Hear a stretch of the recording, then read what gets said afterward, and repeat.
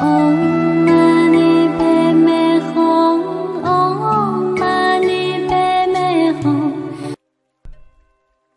hỏi, nhưng vì sao một số người ăn chay trường, kể cả người tu hành, vẫn bị bệnh, thậm chí bệnh nan y?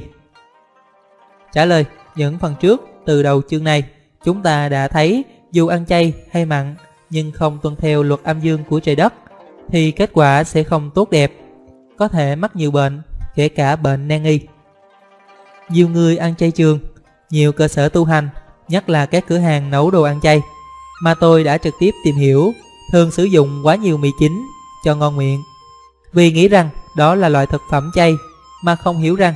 mì chính là chất độc hóa học độc hại. Thêm vào đó, nhiều người tuy ăn chay trường nhưng lại không tuân theo nguyên lý âm dương, thường ăn quá nhiều thức ăn âm như nấm, măng, giá, hoa quả, ăn nhiều dầu, uống nhiều nước.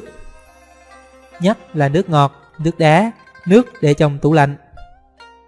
Bên cạnh đó, nhiều người do chưa nhận thức đúng mức và chưa thực hành tốt việc rèn luyện làm chủ tâm thức, nên không tin tưởng vào phương pháp thực dưỡng theo nguyên lý âm dương, hoặc quá sân si,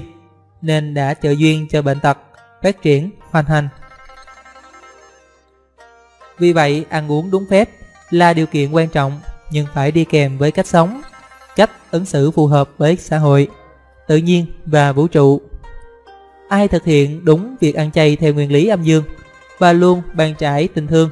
hơn nữa luôn biết ơn sâu sắc mọi người, thiên nhiên, vũ trụ, nhất định người đó sẽ có cuộc sống vui tươi, an lành, khỏe mạnh, sống lâu có ích.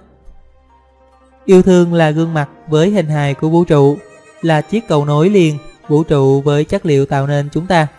là trải nghiệm trọn vẹn cuộc sống và liên kết với siêu phàm vũ trụ. Theo Barbara Ann Brennan, nữ tiến sĩ vật lý làm việc tại Trung tâm Nghiên cứu Vũ trụ NASA của Mỹ, tác giả cuốn sách Bàn tay ánh sáng nổi tiếng